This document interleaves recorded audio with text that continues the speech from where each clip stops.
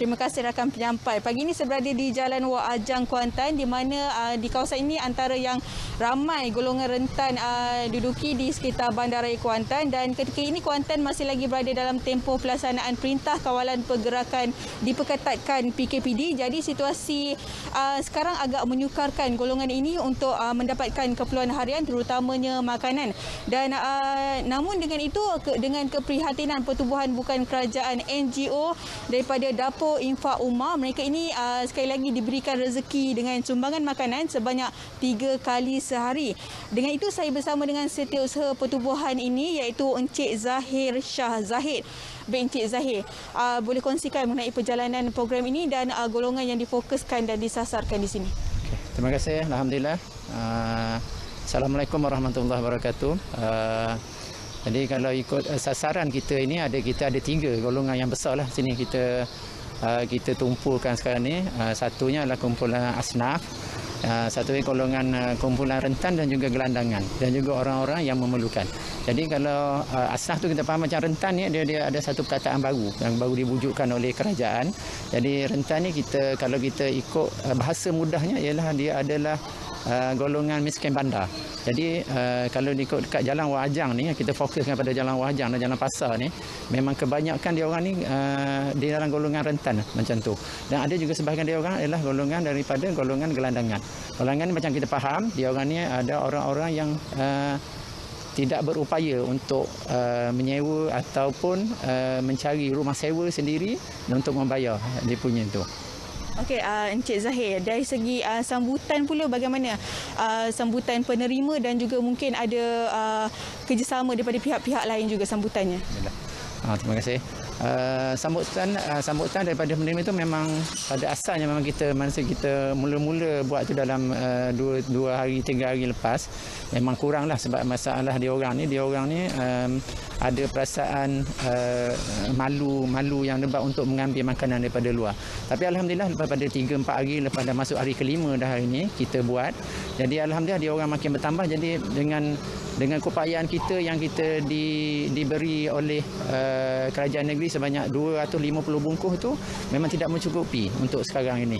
Jadi uh, dia orang ni uh, semakin bertambah setiap hari. Jadi itulah uh, mana kalau ada lagi uh, golong-golongan ataupun orang-orang yang sanggup berinfak kepada kita uh, kepada pertubuhan dapur infak rumah kita, uh, kami amat mengalu-alukan untuk dia orang uh, sumbang kepada kami untuk kami akan dapat kami menambah pek-pek makanan yang ada yang kita buat sekarang ini dari segi perubahan yang Cik Zahir cakap mungkin uh, dari segi aktiviti pula mungkin uh, lebih ramai golongan rentan yang turut sama dalam aktiviti yang disediakan sendiri oleh dapur infak. Uh, aktiviti yang kita uh, rancangkan ni alhamdulillah kita telah berjaya uh, menyiapkan uh, satu surau yang kita namakan uh, surau al-hidayah jadi kami ucapkan terima kasihlah pada kerajaan negeri terutamanya kepada Yang Amat Datuk uh, Datuk uh, Seri Menteri Besar kita dan juga Datuk Seri Sahaniza Exco dan yang juga unit-unit yang berada di bawah kerajaan negeri. Alhamdulillah dia orang sanggup membantu kita orang untuk uh, menyiapkan dan juga uh, menceriakan lagi surau ini.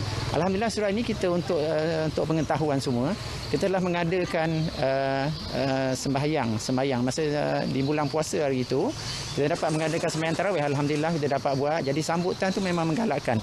Setiap hari dapat kita penuh dalam 30 ke 40 orang. Alhamdulillah lah dia orang uh, berasa seronok uh, untuk datang. Dan alhamdulillah juga kita dapat peluang itu untuk pertama kalinya kita dapat mengadakan sembahyang uh, uh, Aidilfitri di sini bersama takbir kita dapat semua kita dapat uh, kita dapat juga daripada uh, pertolongan daripada uh, Majlis Agama Islam Pahang dan juga Jabatan Agama Islam Pahang jadi dia orang menyediakan uh, iman dan juga uh, bilal untuk datang ke sini jadi dia orang rasa ceria rasa di situ alhamdulillah Encik Zahid, last sekali mungkin perancangan uh, pertubuhan uh, dapur infak sendiri untuk akan datang. Alhamdulillah.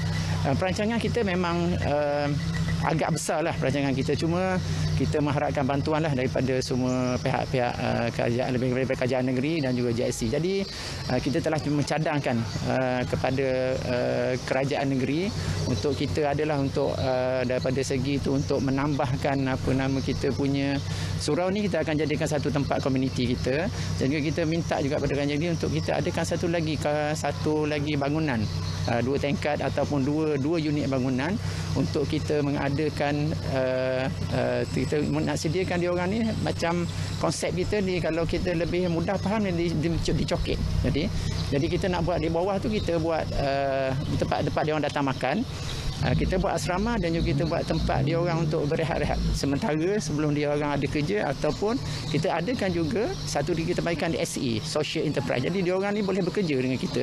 Jadi di samping di samping dia dapat mendapatkan uh, peningkatan dia punya daripada segi ekonomi dia orang dan kita mengharapkan juga dia orang akan meninggal apa-apa meninggalkan apa-apa pekerjaan mereka yang tidak begitu baik contohnya apa yang yang itulah yang kita rasa benda tu dia akan mengundang lebih banyak sosial, masalah-masalah sosial di kawasan ini. Okay, terima kasih Encik Zahid atas perkongsian.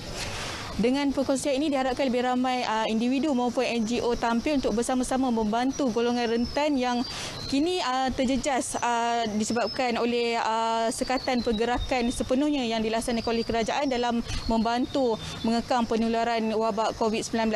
Jadi saya kira itu saja dari Kuantan Pahang kembali bersama rakan penyampai.